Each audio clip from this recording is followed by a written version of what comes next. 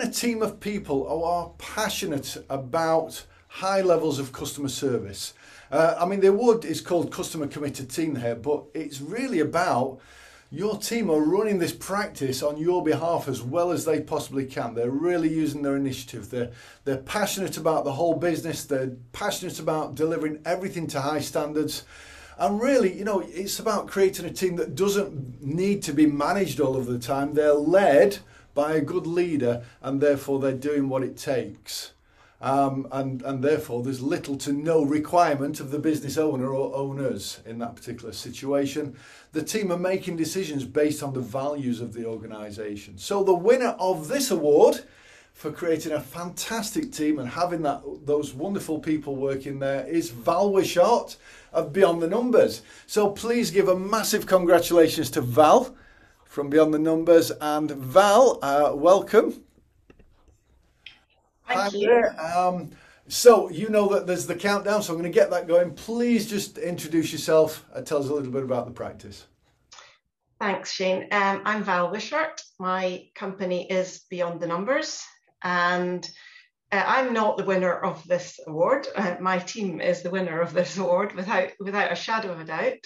Um, we are a team of six, so I work with five wonderful ladies uh, we're based in Edinburgh and we work with small businesses, mostly um, in Edinburgh and local area. And our mission is to be a happy, caring, friendly team that helps business owners to realise their goals, dreams, and ambitions. Thank you very much for that, Val. So again, just give us a flavour for you know before you had this great team dynamic in place. What was life like? So we've been around for 11 years now. And um, when I started out, I started out just as me and then kind of quite haphazardly built the business. Um, it was sort of coming at me rather than me deciding where I was going to go with the business. And um,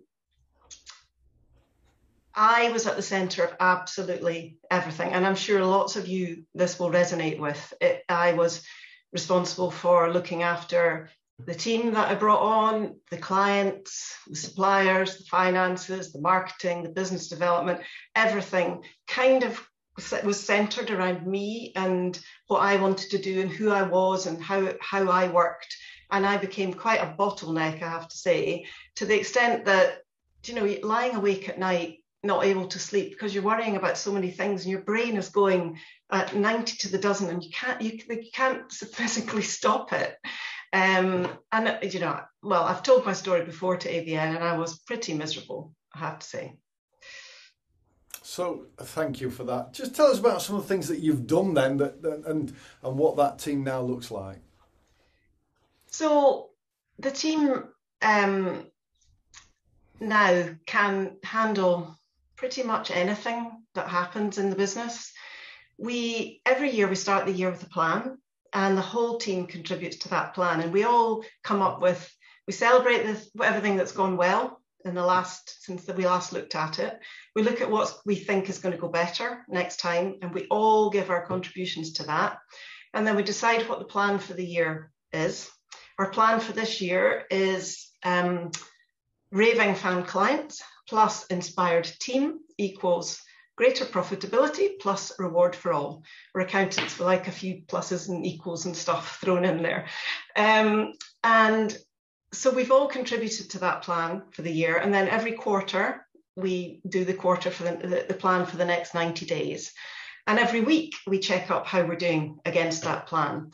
And actually, um, it's been my team this year that have reminded me to do the quarterly plans because I've forgotten. Uh, they're the ones that are thinking about it and uh, really more than I am. Um, so, so that's one side of things. Um, I can go away now on holiday without even thinking about the business. I don't. I literally don't think about it when I go away.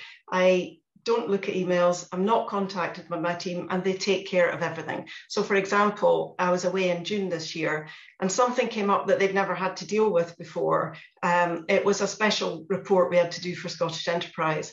And um, they just took care of it. Basically. They got together, they looked at what was required, they got the requirements from the client, they looked at our, our pricing software to see if there was a price. Of course, there wasn't because we'd never done it before. So they agreed amongst themselves what the value was and what the price should be, went back to the client, agreed it with the client, got the work done, happy client, happy team. I knew nothing about it. I was on I was on the beach. So it, it, it was just amazing. And um, we've we've we share knowledge. So every Tuesday, we now have a Top Tips Tuesday, where um, at the end of our little chat on a Tuesday morning, we all share something that we we know that perhaps we want to share information with the, the rest of the team about because the more people understand and learn about everything, then the more we can deal with things without me having to get involved. And, and we also have an Inspiration Wednesday on a Wednesday where uh, we've got a, a, an inspiration library on YouTube where we add videos that we are inspired by or motivated by, and it can be really anything. And every Wednesday, somebody will talk to the rest of the team about something that they've read uh, or looked at or watched that they've found inspiring and why. And I guess it's just getting the whole team involved in personal development. And, and they truly are inspiring, Shane, they truly are. Um, and I guess for me, it's just I can now sleep at night. I don't worry about the business anymore.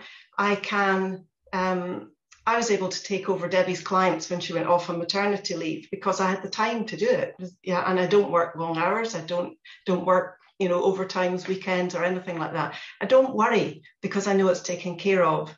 Client calls don't come to me. 98% of the calls are, are dealt with by the team. And I, I, guess it's just so different. It's unrecognizable from where it was before. It's come so far and it's changed so much. And I, I actually wrote at the top of my ward, this is a heartfelt thank you to my team. Um, and it really is. This is not about me at all. This is about everything they've done. So, ladies that are watching, thank you. You are wonderful. Absolutely, thank you, Val. I mean, my last question was, what what does this mean for you? But I think you've answered that. Is there anything else you'd like to add in the last few seconds? Just to say that we're also much more profitable than we were. Our profits are up 52% on last year's. Wow. I mean, that's quite amazing. And that's without me having to do all that much. So Incredible. that's my team. Incredible. So, thank you very much, Val. And, and, again, massive congratulations from me for, for winning this award. Um, and, and, I extend that to the, the entire team at uh, Beyond the Numbers, of course. Uh, so, please acknowledge Val in the chat box. Remember Val's name for later in the voting. And um, thank you very much, Val.